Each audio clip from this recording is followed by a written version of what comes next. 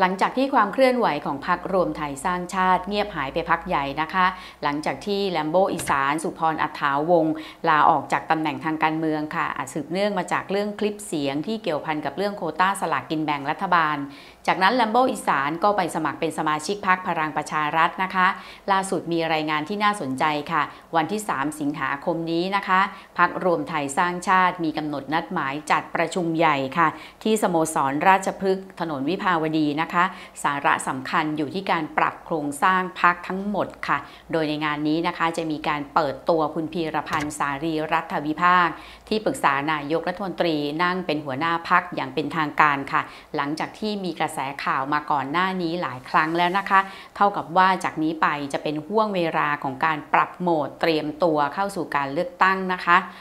ในส่วนของพรรครวมไทยสร้างชาติเนี่ยมีรายงานนะคะว่ายังมีแกนนำทางการเมืองนะคะอีกหลายคนจะเข้าร่วมค่ะ โดยเฉพาะอดีตแกนนำกปปสนะคะ ไม่ว่าจะเป็นคุณเอกนัทพร้อมพันธ์ คุณวิทยาแก้วพราใดนะคะ รวมถึงแกนนำจากพรรคประชาธิปัตย์นะคะ อย่างคุณวีรชัย วีระเมธีกุลที่ลาออกจากพรรคประชาธิปัตย์มาก่อนหน้านี้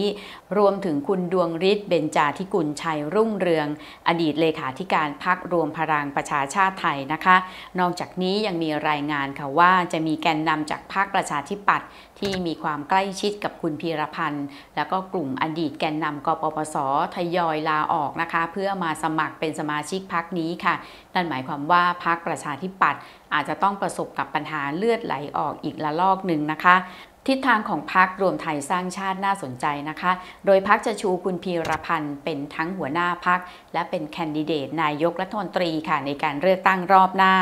นอกจากนี้นะคะพรรคยังจะเปิดรับนักการเมืองจากทุกขั้วทุกค่าย แล้วก็ทุกสีนะคะ ไม่ว่าจะเป็นจากพรรคประชาธิปัตย์เอง ไปจนถึงพรรคเพื่อไทยรวมถึงคนรุ่นใหม่ค่ะ ที่ต้องจับตานะคะคือพักรวมไทยสร้างชาติ จะเป็นแนวร่วมของพักพลังประชารัฐ สนับสนุนพลเอกประยุทธ์จันโอชา ให้กลับมาเป็นนายกรัฐมนตรีรอบหน้าด้วยหรือไม่นะคะ แต่ขณะเดียวกันค่ะพักรวมไทยสร้างชาติเองก็จะต้องรักษาท่าที และระวังการทำงานทางการเมืองของพักว่าจะต้องไม่ไปสุ่มเสี่ยงนะคะ กับการกระทำผิดข้อกฎหมาย เหมือนกับที่พักเพื่อไทยค่ะถูกจับตา เตรียมใช้กลยุทธ์แตกแบงค์พันตั้งพักการเมืองมืองใหม่ เพื่อรองรับสูตรการเลือกตั้งหาร 500 อยู่ในเวลานี้ค่ะ